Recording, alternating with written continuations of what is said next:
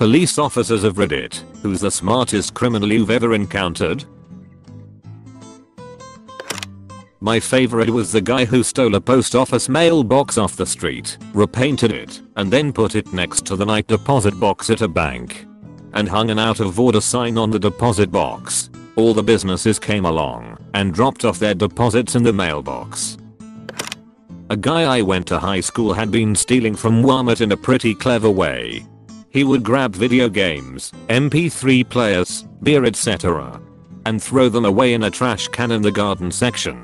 The workers never checked the trash contents, and he would just wait, sometimes 5 hours, until they emptied the trash in the back dumpster and hop in to get his items. Once he took a cardboard box from a display inside, filled it with video games, a PS3, and extra controllers. He grabbed some tape and pens, and drew all over the box, and taped it up, to make it look used and tossed it. An hour later he had a whole new PS3 and stack of games. I'm not a cop, but I worked crime scene. This guy had attached GPS to the bottom of people's cars who owned houses he wanted to rob. He did it to ensure they wouldn't be showing up while he was ransacking the place. I heard about one person that pulled a shoplifting scam on a large, popular and well-known U.S. retail store. They walked in with some cheap nylon product to get one of those, I walked in with this, stickers they used to put on returning merchandise.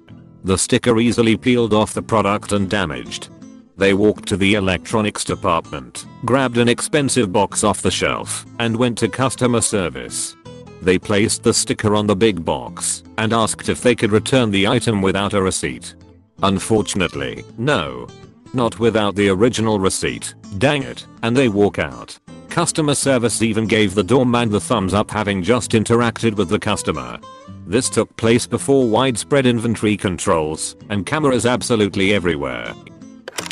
I remember an officer telling me about a B&E alarm he and his team responded to. No one was there to report the alarm. It must have been a security monitoring company that called. When police showed up, everything seemed normal. Most lights were off and there was an employee still working. Explains he was there working late and must have set off an alarm. They almost believed him until he said UHH before saying the name of the company he worked for. After that it was downhill, but with a little more research he would have pretty much gotten away with it. There's one guy I recently dealt with who is on parole. I stopped him in my city after he was looking to buy drugs. Usually people come from all over to buy drugs and then leave. I issue him a warning and let him go as it's pretty common, and he sang like a bird regarding the people he was trying to buy from. Anyway, the next day, I got a call from his parole officer who says he was alerted the guy was pulled over and wanted to verify that it was his guy that I stopped. I'm a little confused at first, but he goes on to say that the day before, he was scheduled to meet with him, but he had an excuse and bailed. His excuse was that he was in the hospital. Well when he spoke with him the following day, he was able to provide documentation that he had entered the hospital day 1 and had left day 2. Well I had stopped him at 115 in the morning and after looking at the picture, it was 100% him. Turns out the guy had checked and then out of the hospital on day 1, then in and out again on day 2.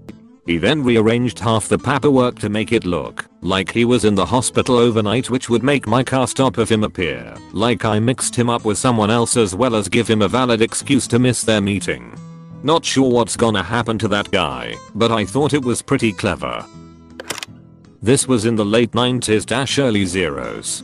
A guy in my dorm came to school solely to deal drugs he took out student loans, registered for a bunch of 300 person freshman survey courses where he would never be missed, then literally never went to class. All he did was go to raves and concerts and keggers and sell party drugs. After the first semester, he was suspended. He wrote the usual back quote I was young and dumb and in over my head sob story and got put on probation for a semester. So he had a repeat of the fall. At the end of the year, he was kicked out and didn't care. He made something on the order of dollar sign $150k in return for about dollar sign $8k in student loans to cover a year of housing and tuition. So far as I know, he was never caught. It may have been a short-sighted maneuver in the long run, but in the short run it seemed fairly genius to effectively use federal loans to start your drug business. Working in a home improvement store when younger. This guy came in, went to the snow blowers, took one and went to the return desk. Said he wanted to return it, but had no receipt. They told him you need a receipt so he says, okay I'll be back, and wheels it off to car through the front door. He did this a few times apparently. Couple places even helped him load it back into his car. Most of them are really stupid, so this guy isn't a criminal mastermind but here goes. He wanted to rob a jewelers on our city's main street. So he found out the flat beside the jewelers was empty, and he hid there. For two weeks he triggered the alarm on purpose several times a night. Massive headache for the police and the business. We turned up to see nothing there, nothing on cameras. Thought it was just a fluke, so the jewelers turned off the alarm system and said they'd wait until the morning to get a new one installed or that one rewired because something wasn't right. As soon as he heard that and the police leaving he tore down the wall. Had already been working on this apparently and robbed the place taking his sweet time. Escaped without anyone noticing anything for hours, until the jewelers came back in the morning. Then he tried to resell something he stole which had a serial number on it and got caught. So not that smart after all. Good effort though. There's a golf course slash country club in my town that has a PGA tournament scheduled in the next couple years. They have a guy repeatedly breaking in overnight and just lounging around and eating food, all on camera. The club refuses to report it, so they don't hurt their chances of the tournament coming. Worked at a jail. After getting off work, I watched an ex-inmate, homeless, being released. He walked over to a patrol car, looked me in the eye, and the elbowed the window in. He was walked back to the entrance and rebooked in. It was middle of January. He didn't want to get too cold.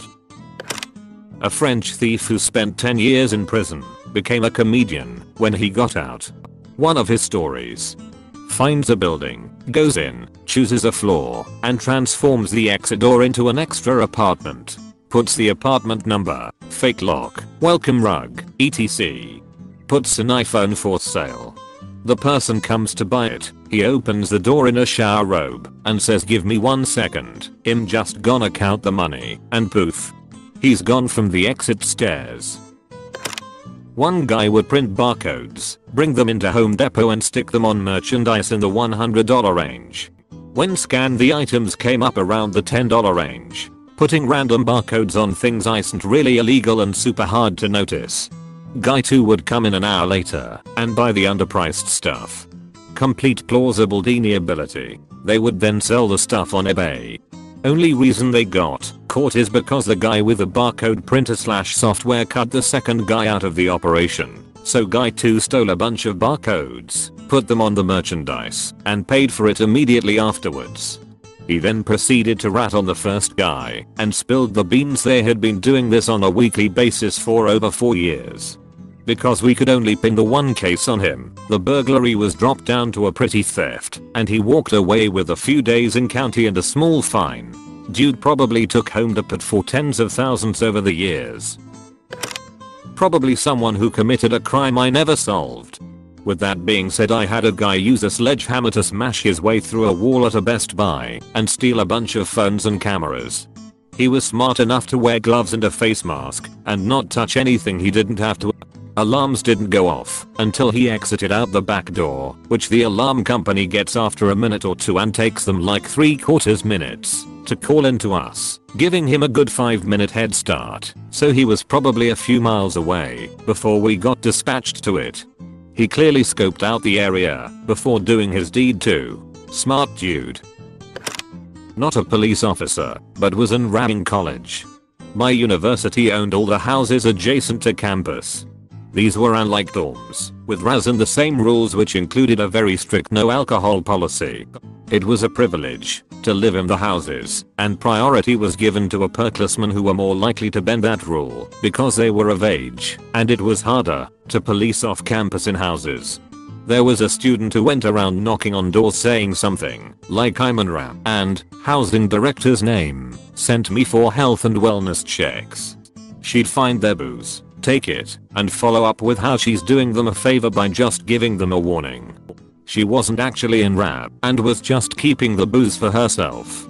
The only reason she got found out was because she did it to an actual RAB. The RAB was male, they kept men and women housing separate, and just assumed he didn't know her because of that. It was only later he questioned why they had a female doing wellness checks on male housing. They did an investigation and asked other residents. Incidents dated back previous two years. Never found out who it was. Here's one. I knew this guy back in the early 80s. Let's call him Jim. Well he really wanted this high powered super bike, but he knew he couldn't ever afford it. So what he did was to take drive to London and scout it about for a few days until he found that particular model parked outside a house. He goes back that night with a slide hammer, pulls the lock, and steals the bike. He gets it home, puts it in his garage, and completely strips it, so that the only thing left is the frame and the bottom half of the engine, which he drags into the weeds at the bottom of his garden. Then he pours fuel over it and burns it a bit. A few weeks pass, and weeds have started growing over it. It's at that point he calls the cops and reports that someone had dumped a bike frame in his garden. The cops show up, and he explains that he'd just got back from being away and found it. The cops take the frame and note down high name and address.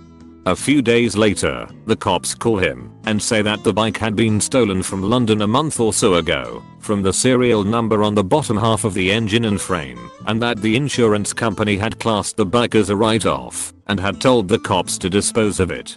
Now, because the frame was found in his garden and the insurance company didn't want it, the cops were duty bound to ask him if he wanted to keep it or if they should throw it. So he tells them that he'd always wanted to build a bike. He gets the frame back from them, repaints it, then puts it all back together and re-registers it as a Q-Reg, stolen and recovered.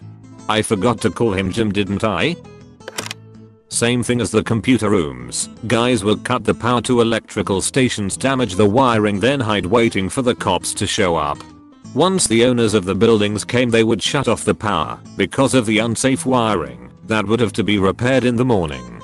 Everyone would leave for the night, then then would cut away all the non-powered wiring to get the copper. Not a policeman here, but I have a nice story from insurance slash debt collectors. There was this guy who was already in heaps of debt. Like more than a lifetime's worth of debt. He proceeded to file several police reports for identity theft up to the point that he got protected from financial checkups. It was a temporary measure that were given to repeated identity theft victims. At the same time he had reported fake income to the IRS for the last couple of years to between 40 to 60 millions depending on the year. So when he applied for credit cards and loans, they were unable to check his financial credit due to the identity theft protection, but they checked his tax returns which showed he had a massive income. Got his loans and credit cards, emptied them out, and left the country. Not a copper, but this was pretty smart. I used to run bars at a number of venues around the north of England, one of which was Chester Racecourse. Usually, we'd just have to keep an eye out for scousers trying to nick drinks or sneak in without paying, and with it being so close to Liverpool there was a fair amount of security on site. You could tell them, as they'd be suited, booted, a high-vis waistcoat on, and usually carrying a radio. Now there were a dozen or so bars dotted around the course, and you can imagine the amount of money that was taken from a hundred thousand or so punters drinking steadily from 11 until 8 or 9 in the evening. So every hour or so, the security would go round the bars in turn and take all the high denomination notes from each till and stick them in the safe in the main building. So I'm stood there one day, pulling pints doing the barman thing. The security blokes have been round a few times and it's getting steadily busier. Then one bloke shows up on his own, high-vis on and radio in his hand, does the till, leaving the usual receipt, so we can balance up at the end of the meeting. Bit early I think, but hey ho, I've got plenty to do. Then 10 minutes or so later, two more blokes show up, dressed the same. Oh, your mate's just been here, I said. No need to touch that just yet. What mate, we are the only two doing this duty today. Cue a rapid fire and increasingly panicked exchange over the radio.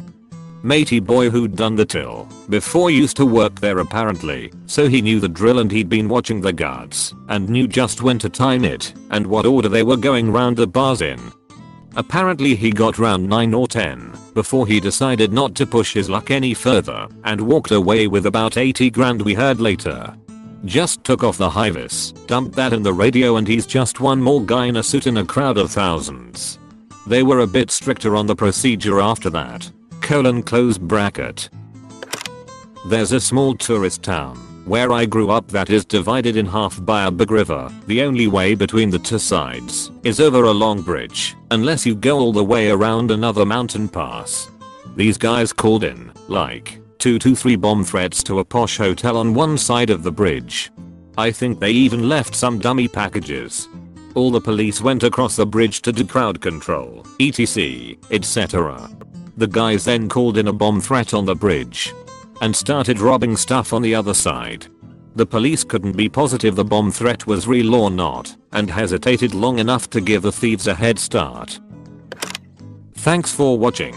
Don't forget to consider the idea to maybe think about potentially subscribing. Peace.